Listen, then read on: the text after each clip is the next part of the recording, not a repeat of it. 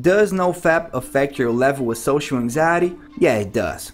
Here's why. Now, long-term porn use leads to the overstimulation of the dopamine receptors in your brain. That high you get from ejaculating your potential timmies is because your brain is experiencing a surge of dopamine, the chemical that rewards activities essential for your survival like having sex and eating food. Now stay with me. The surge of dopamine causes some dopamine receptors to get shut down and corresponding nerve cells to eventually decline because of overuse they cannot keep up with the abnormal levels of that chemical, so they lose sensitivity to it and eventually die out.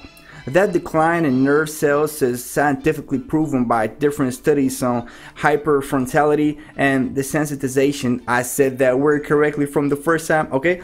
Caused by addiction and something specific for you. Uh, a study conducted by PhD scientist Simone Kuhn and Jürgen Gallinat. I'm sorry if I'm just butchering your name, guys. So they found that there's a significant negative association between reported pornography hours per week and gray matter volume, especially in the frontal cortex, meaning that jacking off makes your frontal cortex smaller.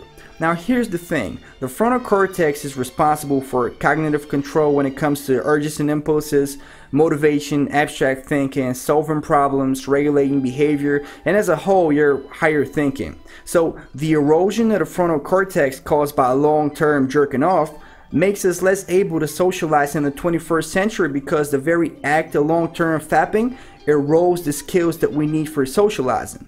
The more you masturbate, the more you turn yourself into a dopamine seeking fiend and less of a motivated human being. Also, this very lack of motivation and affirmative action towards achieving any type of success adds to the negative self-talk you may be already experiencing. So not only is there a physiological reason why you feel socially anxious because of fapping, you know, the shrinkage of the frontal cortex, there's a psychological one, added negative self-talk. Okay, that was reason one. Now reason two. By exposing yourself to such a dopamine high achieved without any effort really, you lose interest in social interactions and participating in the world because it simply cannot meet the high dopamine standard you're experiencing from your porn usage. When you lose social interest, you lose the social skills necessary for interacting with others. Then whenever you have to face that aspect of life, it feels awkward because you simply don't know how to do it. You avoid it and replace it with your safe haven of stroking your penis to naked strangers on the internet. Let me scare you a little bit, okay? As you go longer and longer with your porn use, you need more and more dopamine to get you the same high you used to get in the beginning due to the decline in dopamine receptors. So keep on fapping and you'll find yourself in some pretty weird places just so you can feel arousal, okay? All in all, Fapping is a shortcut to a reward, dopamine. You can get lots of dopamine, fast, with no real life effort. As you're doing it though, you erode your brain, lose important life skills, and become more perverted. With NoFap, on the other hand, you take the long road to a reward. The reward is not only dopamine though, it's oxytocin from social bonds, confidence, pride, motivation, and so on. Along the way, you evolve yourself since you need actual skills and qualities to reach those rewards.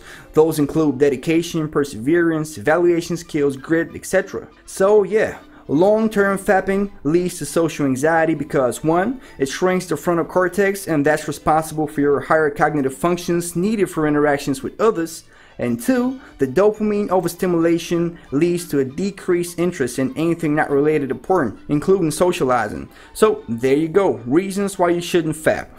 now, how do you stop though? Well, depending on how much of a habit it is for you, I have different suggestions. If you're not that heavily into it, save your juices for the lady you're about to meet. Believe me, not having this fap alternative makes you very good and creative at figuring out how to get laid in real life. If you do find it very hard to stop, I recommend that you take baby steps every single day that will replace the addiction with activities that promote happiness and well-being, meditation, more exercise, etc. Um, the 21 day challenge I made for myself is all the baby steps that helped me the most, so feel free to check that out. This playlist right here has five animated videos from the social anxiety series. You're welcome to watch that as well. Uh, for more information, there's a link in the description. And man, I hope I helped you. Stay strong. This too will pass, alright? If you're dealing with social anxiety, stop jerking off. Trust me on this one, it will help.